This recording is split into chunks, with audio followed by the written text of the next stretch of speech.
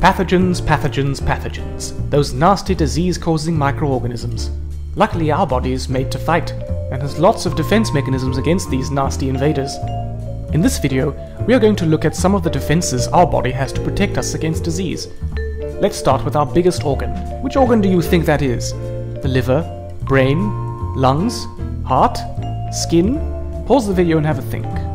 Our biggest organ is in fact our skin. The skin covers the whole body, protecting our insides from physical damage, microbe infection, and dehydration. The skin acts as a physical barrier, which is difficult for microbes to penetrate. But that's not all.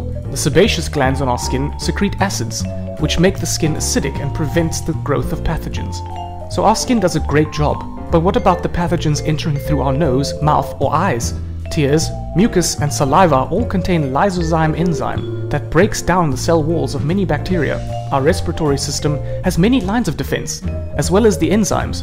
Firstly, nasal hair keeps out dust and larger organisms, and then for the sneakier microbes that get through, there's a sticky mucus which traps them, and little hairs called cilia to sweep out the dirty mucus.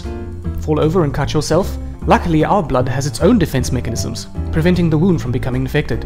The blood contains platelets and fibrin, which cause the blood to clot and form a scab. You can learn more about this in our video on blood clotting.